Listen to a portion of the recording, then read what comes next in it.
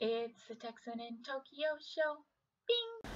So I often go walking in the neighborhood, and one of my favorite things around here is this. And I call these veggie vending machines. Or, like, that's, I don't know, that's a cute way of saying it. Uh, local farmers put their produce in here uh, on weekdays. And they all, I guess, are run by different people and have different stuff in them. And it's nice because you can support local farmers and you can get the stuff really fresh. So, これは、なんていう Hayatori? Shoot, I have no idea what that is actually. Um, ooh, Ryosuke loves these. Kizu.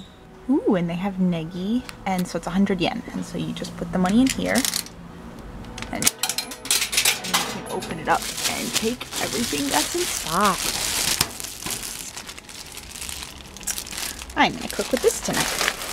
And so there's the different prices, so 100 or 200 yen usually. And then if it's an unequal amount, uh, this is, shoot, I don't know what that is in Japanese. Um, and so you can get, when you put 200 yen in, you get 50 yen back, plus your vegetables. Ooh, daikon. Nice. Yay, all home.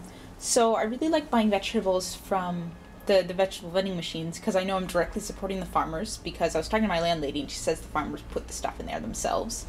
I don't know if it's true or not, but I believe her. And I guess a lot of the time the vegetables come a little bit muddy, but that's how you know they're fresh.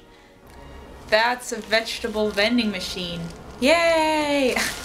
I hope you learned something new today. If not, sorry. Uh, please subscribe for more videos like this, probably better videos. I don't know. Uh, thanks. Bye!